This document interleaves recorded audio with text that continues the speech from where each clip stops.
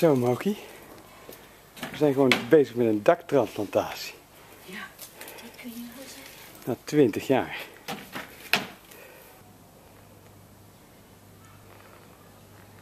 Het is een lastig hoekje.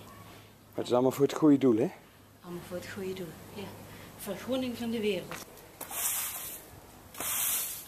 En die wordt alweer aan de folie, heeft dit echt prima gedaan al die jaren. Nu moet het dak een beetje gerepareerd worden. En daarna gaan we de groene dak weer op het kleine dakje leggen.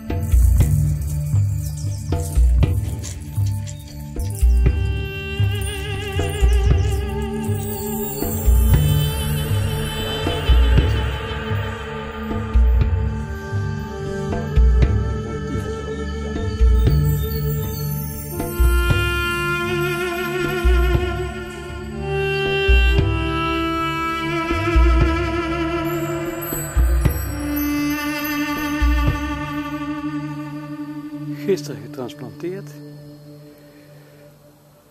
En nu een beetje opletten. Water. De worteltjes moeten weer in de grond.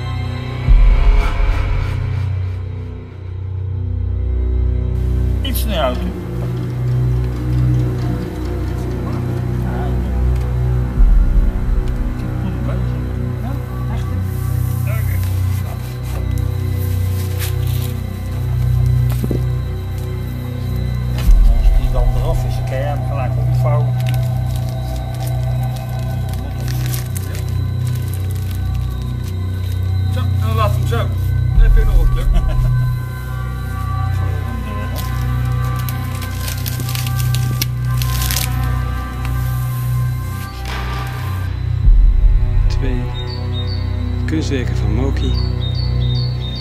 Een plek gevonden op het nieuwe groene dak.